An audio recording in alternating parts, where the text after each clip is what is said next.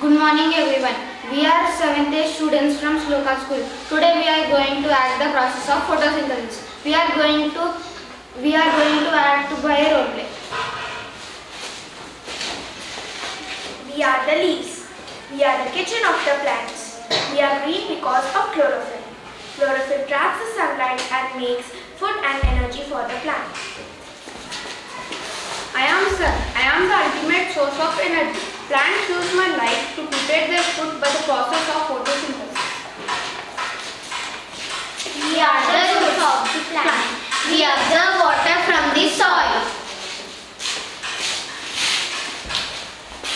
We are stomata. We are present at the dorsal side of the leaves. When we when work we delegate. When we open, see carbon dioxide gas enters into the leaves.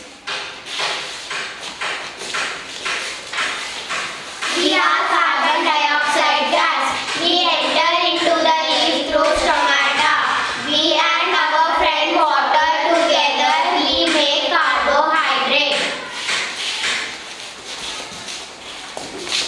We are water. We enter to the plants through roots. We break to release oxygen in the process of photosynthesis.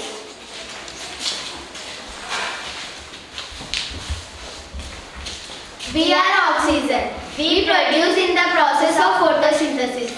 We release throughout the stomata.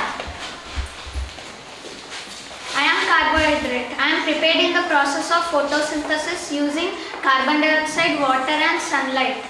Am later converted into starch. I am starch. I will be converted from carbohydrates. I am the storage material of the plants. This is the whole process of photosynthesis. Thank you.